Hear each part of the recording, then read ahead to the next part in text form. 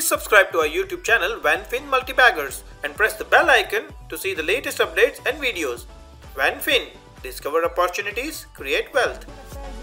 Bandhan Bank का share है वो करीबन यही 420-25 के आसपास लिस्टिंग होनी चाहिए तो जिन्होंने अगर लिस्टिंग गेंस के लिहाज से अगर अप्लाई किया है तो वो तो प्रॉफिट्स बुक कर सकते हैं बिकॉज़ मुझे नहीं लगता कि इमीडिएट शॉर्ट टर्म में या फिर आने वाले दो तीन महीने में साढ़े चार सौ के ऊपर के लेवल्स नज़र आते हैं ऐसा लगता नहीं है बिकॉज़ वैल्यूएशंस पहले ही काफ़ी महँगे थे अगर आप कंपेयर करें बाकी जो प्राइवेट सेक्टर बैंक्स हैं, उनको देखते हुए।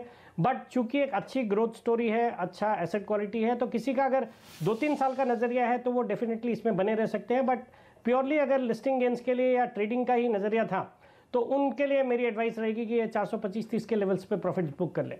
425-30 के आसपास आप मुनाफा घर ले जाएँगे। अगर आपने बंधन बैंक का इशू लिस्टिंग गेन के लिहाज से ही लिया वरना एक बढ़िया क्वालिटी का बैंक का आगे आ, आ रहा है यहाँ पर एक्शन ज़रूर दिखेगा। बैंक्स के साथ ही रहते हुए आप ये भी बताइए सेठी साहब ये जो आईसीआईसी सिक्योरिटीज के इशू को एकदम ठंडा रिस्पांस मिला।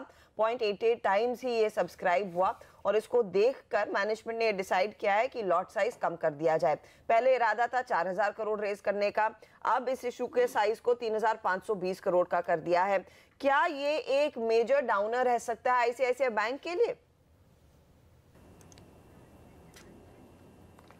नहीं, बिल्कुल हर्षिता जो आईपीओ को रिस्पांस है, काफ़ी टेपिड सा रिस्पांस मिला और उन्होंने फिर लास्ट मिनट में इशू साइज़ को भी कम करके ये इशू जैसे तैसे भर गया है।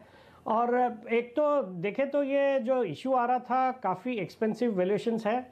और दूसरा, जिस सेगमेंट में ये काम करती है कंपनी वहाँ पे कंपटीशन बहुत ज़्यादा है ऑनलाइन ब्रोकिंग जो बिज़नेस है इनका। तो इन सबको देखते हुए और इन वैल्यूएशंस को देखते हुए, वैसे भी ये जो आईपीओ था अवॉइड की सलाह थी।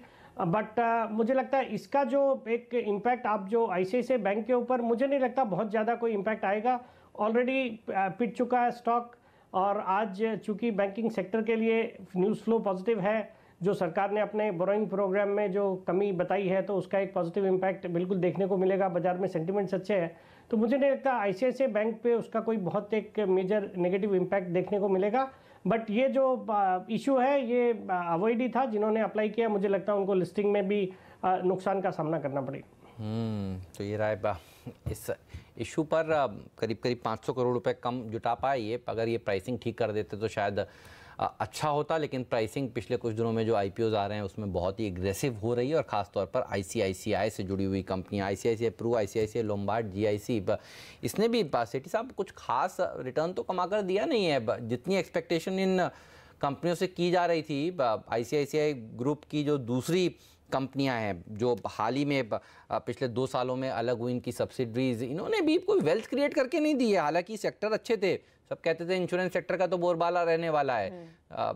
थोड़ा बहुत चले ऊपर और उसके बाद ज़्यादातर शेयरों में कोई तेज़ी नहीं है। इनके ऊपर अब आप क्या क्या view I C I C Pru I C I C Lombard in valuation पर खरीदना सही होगा या अभी भी और नीचे मिलेंगे? नहीं, बिल्कुल हेमंत आपने ठीक फरमाया, ये जो भी स्टॉक्स हैं, इन्होंने कोई भी रिटर्न्स जनरेट करके नहीं दिए।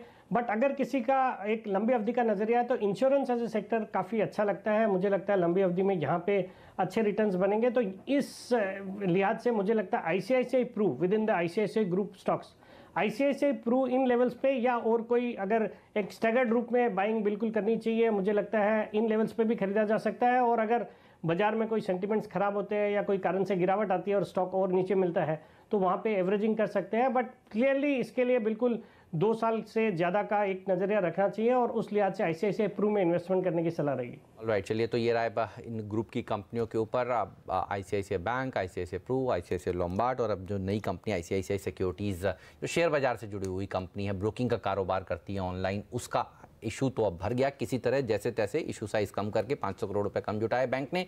और इतने बढ़िया अगर बैंक को 500 करोड़ रुपए का इशू साइज़ कम करना पड़ रहा है, इससे अच्छा अगर अपनी प्राइसिंग को ये लोग सुधार लेते, थोड़े सस्ते वैल्यूशन पर लाते तो शायद ये इशू भर तो कम से कम जाता जितना इन्होंने सोचा था। लेकिन अब लेमन ट्री के आईपीओ में आपको क्या करना चाहिए, बताएँगे विकास सेठी, छोटे से ब्रेक के बाद।